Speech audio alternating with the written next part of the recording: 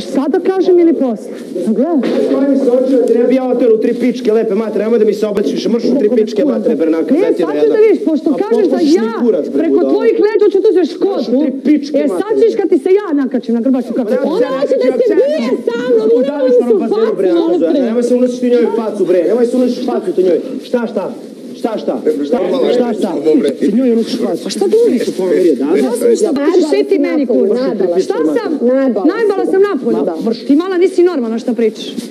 Ja, mamu, Šta? Molim? Molim? Miri se malo.